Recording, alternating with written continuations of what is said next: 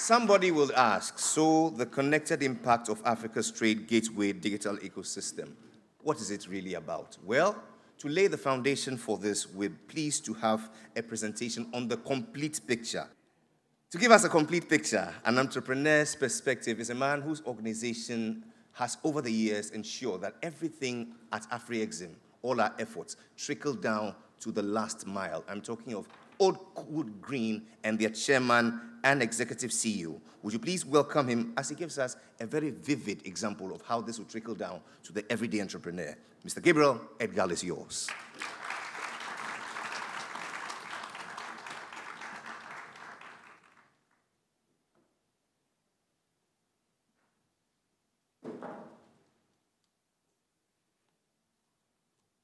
Wow, Jerry, you're so eloquent. Extremely. Always, always, always handling these issues very well. Good afternoon, everyone. I think this level of expectation is very, very high because you didn't even remember to say good afternoon back. Good afternoon, everyone. Thank you, thank you, thank you, thank you. My work is easy, okay? Um, of course, I recognize all the protocols. We've had enough of that. We thank you for everyone that is here today. You know, I stand here before you today with great enthusiasm and a deep appreciation of the African spirit that beats in each and every one of us. Is the reason why you're here. I bid you to welcome this grand symphony of African commerce, where the rhythm of innovation harmonizes with the melody of opportunity.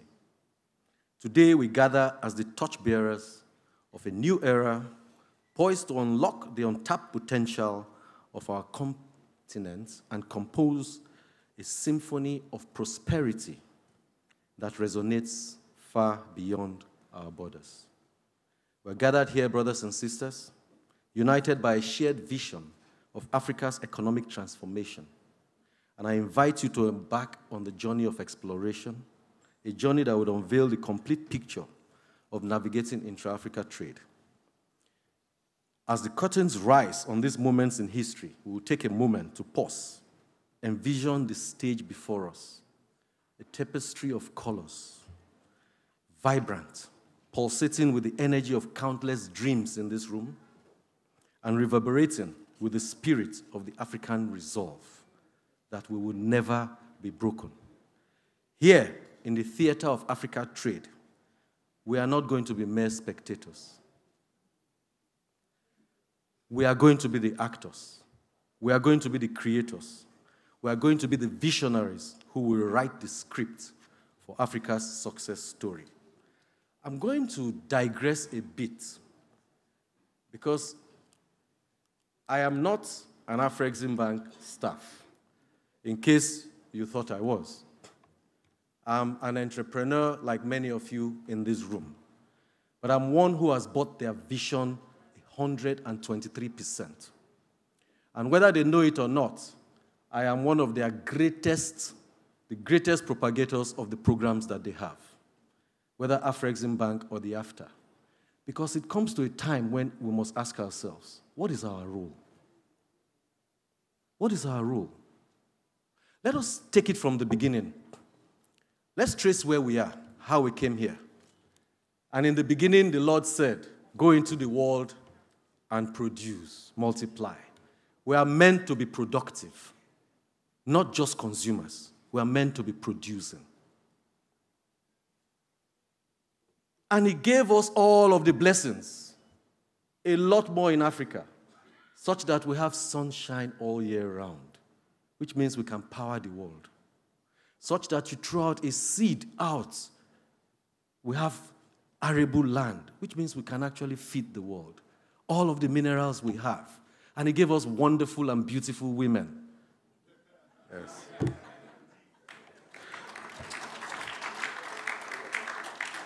so we can provide labor for the world. So, what has happened? He didn't give everyone everything. Some he gave gold, some he gave oil, some he gave timber. The idea was for us to trade with one another, exchange what you have for what your neighbor has. And so we have been doing barter. Our ancestors understood this. And they traded with one another for many years. Many, many years, exchanging, and they built empires and kingdoms with trade. So, trade has always been the answer.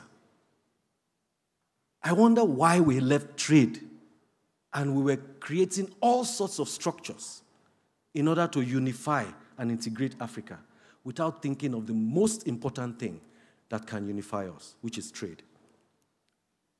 Indeed, you will remember Mansa Musa, I think he's been spoken about a lot here. It was in search of trade partners that he made that his famous journey in 1324. That he distorted the world order metals. And they had to come and look for where that wealth came from. We went there to search for business, and they came, and then the dark days came with them. And then entered slavery. Bitter days. And as if that was not enough, they decided that it is time to share. And then that was the Berlin Convention. And they shared Africa. People who knew no boundaries. Brothers and sisters that could move from one area to the other without passports, without who are you, were suddenly restricted to little fiefdoms that could not stand by themselves. This is what we have done to ourselves. We've put ourselves inside boxes. Do you guys realize that when you travel abroad, do you know what they call us? Africans. Do you ever hear them say Tanzanians, Ghanaians, Nigerians? No. They say you are Africans. Oh, you are from Africa. Of course, because they there know that Africa is one, should be one.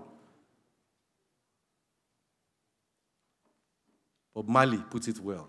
Africans unite. Now, from colonization, where resources were plundered, lands divided, borders created, okay? That's what we call ambush in the night. Says, when I want to get some food, my brother has to be my enemy. Ambush in the night. That's what it was. So all of a sudden, I go to, to, to, to Lesotho, and they say, you know, I have to create a passport. I have to get a passport to move from one country to the other in Africa. Very interesting. But all of those things are going to go. So, but then came neocolonialism.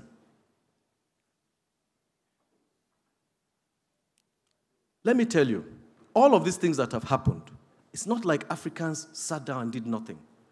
We actually fought. Our forefathers fought. Okay? They got independence. But after independence, neocolonialism, they still held, you know, give them the education. So today, we're taught that education is great. It's parts of a butterfly, okay? Yeah, for somebody who wants to be a, a, a biologist. But you are not taught about what you have. And we ourselves have not created the education for what we have. Where are the schools teaching about mining? Where are the schools teaching about our resources, about oil? What, where are they? So, our education, again, hold them by the monetary institutes that we have set up. Create economic control. So, yes, they were smart. Take your freedom, but we still have ways to control you. That's why when I see organizations like Afrexim, I now see that there's hope. There's very serious hope. Let's fast forward. You know, all this trade liberalization and things that we talk about. So, after all the development eras, from the agrarian to, to you know, mechanized, um, to electricity, to digital transformation, now in the fourth revolution, uh, machine and man, you know, Africa had been playing some role, okay? But these guys had moved. Whilst we were suppressed as slaves, suppressed as, as whatever, they had moved. And then you say, trade liberalization. Let's trade freely. How does a lion trade with an antelope? That's the truth. So I think what is important is that we must build ours first. And that's why what Afrexim Bank is doing is completely amazing. So I think that Afrexim Bank, we now have the solution. I mean, Afri- um, Africa tried. They've done a lot of things. Now, the governments have given us Africa Union. Africa Union has given us Afrexim Bank. They have given us AfCFTA. The question now is, what happens next? Is you and I. Is you and I. The solution apparently has been with us since, and it's trade. Trade, powered by Afrexim Bank, powered by AfCFTA, and the digital economy that is being created by these platforms that we said.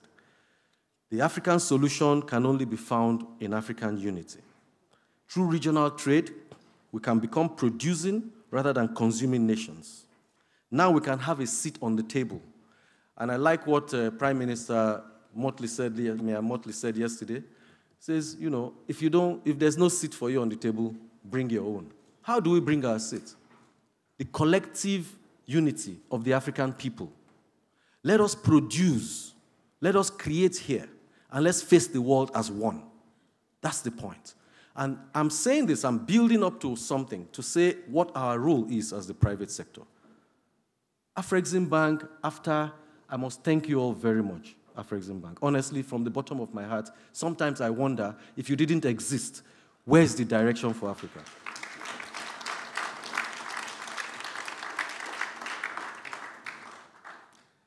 Special thanks to a great brother and visionary, someone I always admire, Professor Benedict Oramah. Honestly, those are the kind of presidents we need in Africa. Absolutely. Extremely visionary. So you just witnessed the soft launch of the ATG. You looked at the unveiling of 30 years of hard work. And you heard, if you heard the president, he can tell you, I mean, they went from a 100 million balance sheet to 32 billion in 30 years. That's about 1 billion every year in growth. And I heard him say that in the next six years, very likely you will double that balance sheet to 60 billion, which means we have our own IMF now. Did you see the products? Did you see the products that they were showing? Entry point Mansa. Now, Mansa, of course, the expert is here. Mansa is a single source of due diligence for all Africans, approved by all central banks. So you want to trade with your brother somewhere, let's even start by knowing you, okay? So you upload your information, that information is there, and anybody around Africa can see it. They now know that you've gone through some due diligence. So Mansa is your entry point. Then PAPSS, then you can now make payments in local currency. Okay? Do you know what it means if we cannot pay in local currency, guys? Look, you know, if you go to Cairo today, every week you go to Cairo, Egypt, they are building. They are builders. Remember the pyramids? We don't now know who really built it, but anyway. Because that thing, if you see those blocks, is very serious to know that. But they are builders. So you would think build bridges are being. Imagine if we can get those people who are builders to come and build roads, build bridges for us, and we pay them in local currency. Do you know the kind of industrial development we would have? Do you know the transformation? Afrexim Bank.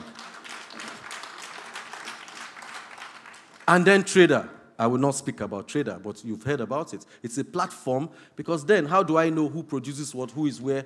All that is on that platform, Trader. And then ATEX. And then access to finance, trade finance and trade finance infrastructure. And then export development and then SME support, and then building industrial enclaves, partnering with Arise, and then supporting the AFTER uh, program to blossom, then providing African quality assurance centers, and then funds for export development, FEDA, and then AfrexInsure to protect your, your, your goods and investments, and then project preparation facility to encourage entrepreneurs to go into manufacturing, and then African Medical Center of Excellence. Let's give Afrexim Bank another round of applause. And then the after. The after removing barriers to trade, creating single markets, creating no tariff arrangements, transit guarantee schemes, African trading company concepts, which you know uh, a friend of mine here, uh, Magdan, is very, very passionate about. All of this has created the platform for us. So, what's the complete picture, therefore? This is Big Brother. Mr. Edgar, you have five minutes remaining. Thank you. yes, I have just two, two pages left. So, what is, what is this complete picture we speak about? It's the private sector that is missing in all of this. Okay? This is a charge to the private sector, of which I am one. So, like I said, governments have given us AU, AU has given us Afrexim Bank, and after, after has provided us with platform, Afrexim Bank has provided us with capital. Okay? Now it is our turn, the private sector. It is you and I, entrepreneurs, the risk takers, the job creators, the bridge builders who have the key to unlocking this potential. Okay? Um, and everything must be deliberate. It's not by mistake. Do you see how uh, Prime Minister Mottley spoke about, you know, the Caribbean connection and the creation of global Africa, which started with just creating vaccines, and then they now decided deliberately to create that. And today we have partnership with, with the Caribbeans. We must start thinking global Africa immediately expanded markets, which will be given to you by trader and that thing, diverse partnerships. Private sector, don't think local, think Africa. That's all I, I came here to advise you on. Access to financial markets, what are you doing to provide that? We are trying to be a conduit for capital into the continent. What are you doing? Leverage technology. There are technology houses here. Don't restrict it to Ghana. Don't restrict it to Zimbabwe. Do it Africa wide. Logistics. I know my friend is doing a lot in that. Knowledge, training, that essential training that is required. Entrepreneurs here, let's pick it up. This is what I'm saying. So for us, we have done our part. We are doing our part. You know, at Oakwood Green Africa, this is one of the partnerships we have. Okay, we've decided to be a conduit for capital into Africa. We've decided to be a conduit for uncommon knowledge, which is not the one that they will teach you in classrooms, but the ones that you need to survive in Africa. We've decided to leverage technology to solve Africa's problems. We've decided to partner, and doing this, we partner with Afrexim. We're partnered with PAPSS to ensure people know about it. We actually go business to business, telling you how to do that and pay in local currency. We've partnered with Mansa. We've partnered with IATF, and by the way, uh, Intra-Africa Trade Fair is coming up in November this year. All I'm saying, guys, is that for us, it will not be sitting on the fence. It will be embracing these digital platforms. It will be getting onto the Mansa platform now, enlisting. It will be getting onto the Trader platform now, enlisting. It will be getting onto PAPSS, start talking about your suppliers. You know, first of all, look around you in Africa. Why, if we have cement next door, why are we importing offshore? Why don't we import next door? Think about that. Import substitution. If I were you, I would go and look at the list of everything that we're importing, and you will start producing it here so that people can start buying. Because right now, absolutely. Because right now, everything has been created for us. The platforms are there, the finance is there, the digital platforms are there, and you will hear from the speakers um, later how you can, you can benefit. But it's no longer sitting on the fence. No one is going to do this for us except ourselves. My name is Gabriel Edgar, Chairman Oakwood Green Africa. My team and I plan to be a part of the solution. What about you?